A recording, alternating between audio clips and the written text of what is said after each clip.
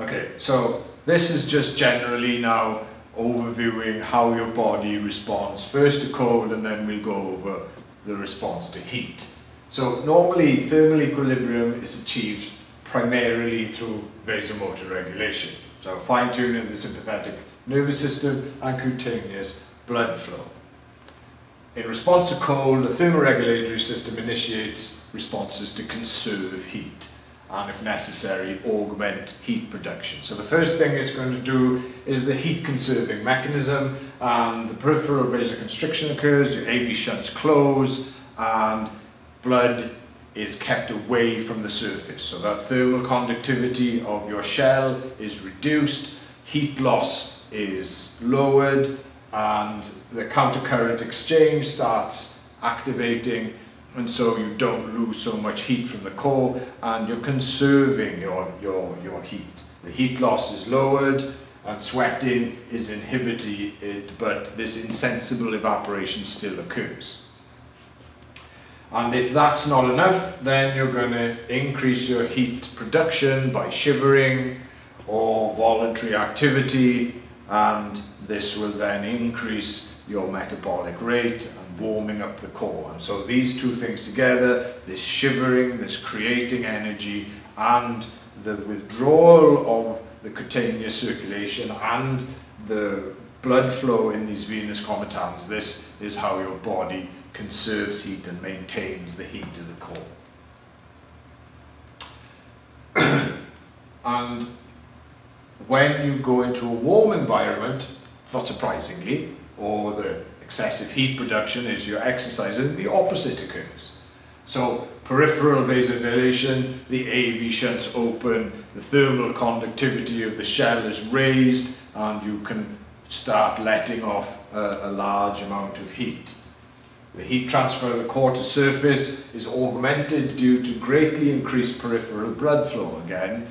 This increases the convective current, it increases the thermal conductivity of the shell and heat flows much faster through it.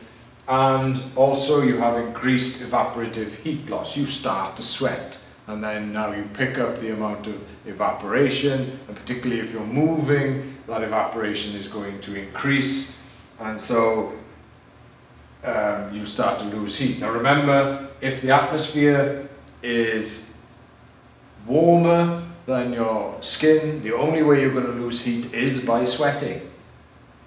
And it removes heat from the body but also cools the skin so that the skin is uh, less than the core and therefore heat can start to leave. Obviously you have to remember that heat travels downhill. And so if you can make your skin colder than your core then heat will start to leave your core and this is why sweating and evaporation is good for lowering your core temperature and stop you overheating. Okay, so the neural mechanisms of temperature control are shown here. Thermoreceptors are located in the hypothalamus, the skin, and elsewhere. The hypothalamus and neighbouring preoptic area of the brain establish a set point. You have a, a physiological set point that your body tries to maintain the core temperature at. And we'll talk a bit about that in the next couple of slides. Transmission of the error signals to the appropriate effector mechanism Controlling shivering, sweating and vasomotor action will then allow you to respond to whatever challenge it is. So if we come over here, we have uh, the core temperature and the, the skin temperature, and these are sensed by skin thermoreceptors or core thermoreceptors.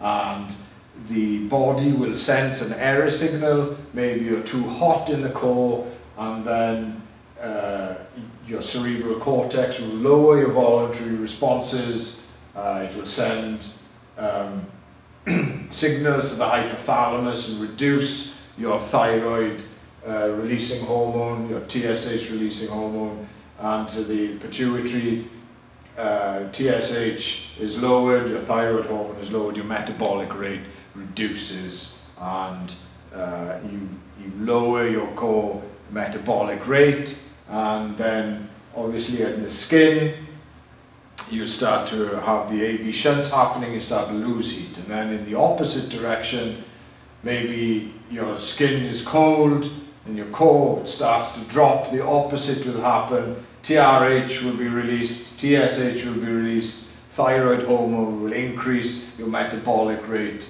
will um, will increase in order to raise your body temperature, sweat glands will close, your adrenal medulla will release epinephrine so that your metabolic rate will increase and raise the temperature of your core, your voluntary muscles, your voluntary responses will increase. And so in response to the cold environment, this is how your body then will activate things. And it's in two directions. When you're cold, these things will increase apart from your sweat obviously which will reduce and then when you're warm your metabolic rate will fall and your sweat glands will open uh, and through these mechanisms, through this mechanism of temperature control, you keep yourself as close as possible to that 37 degrees. Now, the hypothalamic set point.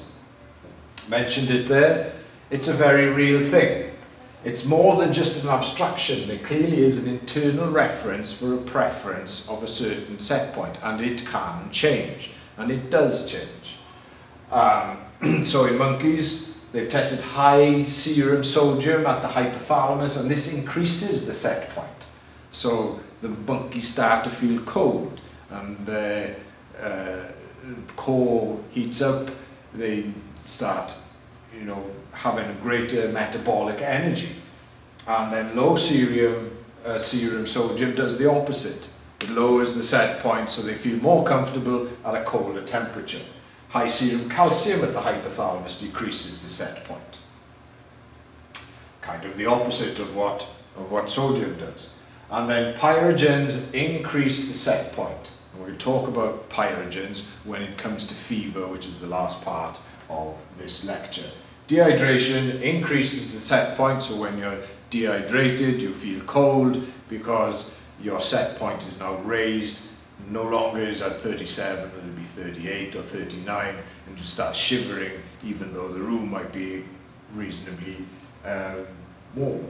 And then various neurological disorders and uh, injuries can also modify the set point.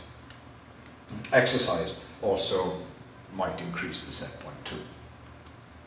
So thermoreceptors, you have two, and uh, fairly self-explanatory, not uh, anything too complicated. You have warm fibers, and as the temperature raises, they fire faster, and then you have cold fibers, and as it gets colder, they fire faster.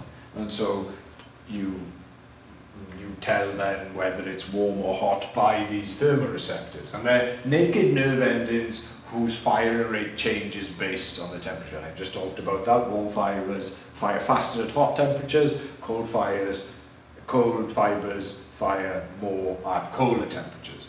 Skin thermoreceptors are distributed non-uniformly over the entire body surface and then your core internal thermoreceptors are located in the hypothalamus, the spinal cord, and the respiratory tract, the viscera, and the tongue.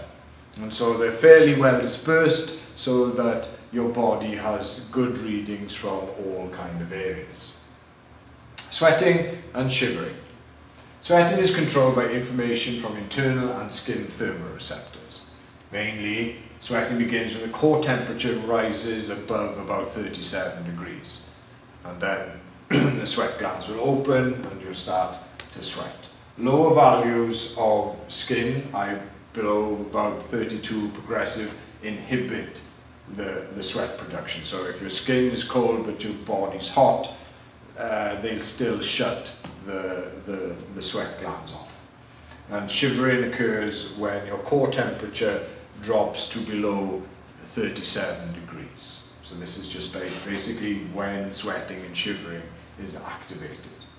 For core temperature greater than about 37 degrees, no shivering occurs until skin temperature is reduced below about 20 degrees. So there's a balance between your core temperature and your skin temperature, and the core is most important. But if your skin does drop too much, you'll start shivering anyway.